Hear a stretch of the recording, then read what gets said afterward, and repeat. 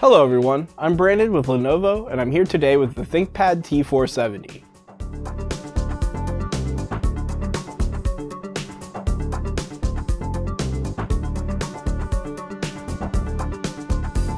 Today we are going to be replacing the internal storage drive.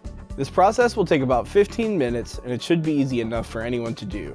The tools required will be a Phillips screwdriver and a non-metallic pry tool. Before we continue, we need to make sure that we are protected against electrostatic discharge or ESD. Make sure to shut down the computer and disconnect all cables and accessories from the system. For further information, watch our Understanding Electrostatic Discharge video by clicking the link in the description. And now that we're ready, let's get started.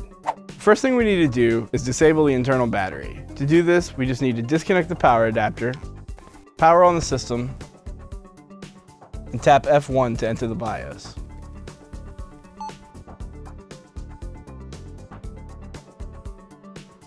Once in the BIOS, we can use the arrow keys to navigate to the config menu, then down to the power menu and press enter. Then we need to navigate to the disable built-in battery option, press enter, Assure that yes is highlighted and press enter one more time. Now the internal battery is disabled. Now we're going to remove the removable battery. To do this, we just need to slide the switch marked with a 1 to the unlocked position, and then hold the switch marked with a 2 to the unlocked position.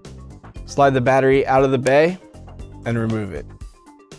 Next, we're going to remove the base cover assembly. To do this, we first need to loosen six captive screws.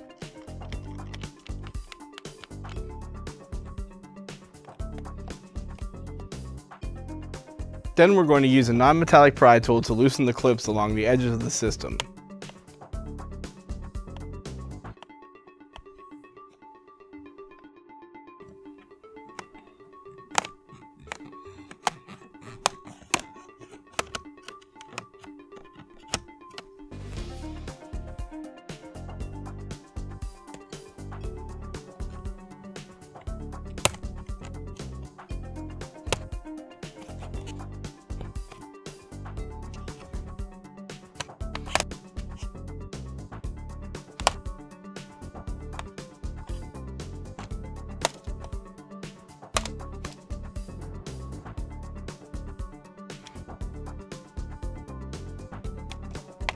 Then remove the cover from the system. Then we're going to disconnect the internal battery cable from the system board. Now we're going to remove the internal storage drive. We just need to disconnect this ring pull connector from the system board and then pull inward and up on the tab and remove the drive. Then we're going to remove the storage drive connector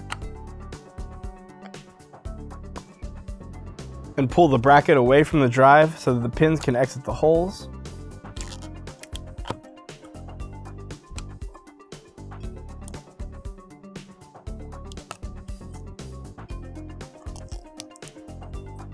and remove the bracket. Now we're going to attach the bracket to the storage drive. You just want to press the pins into the holes on the drive.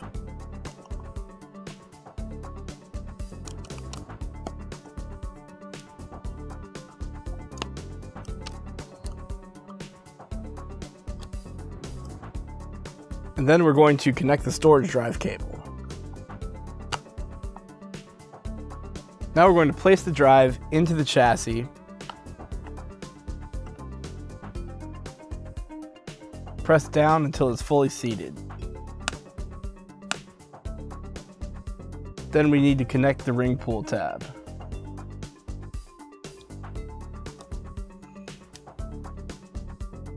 Next, we're going to connect the internal battery cable to the system board. Now we're going to place the base cover assembly onto the system and press down around the edges to lock the clips into place.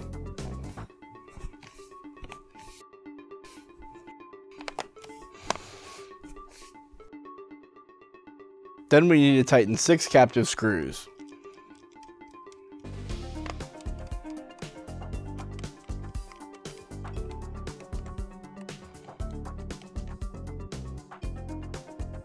Now we're going to insert the removable battery to the bay and slide it in until the switches lock into place.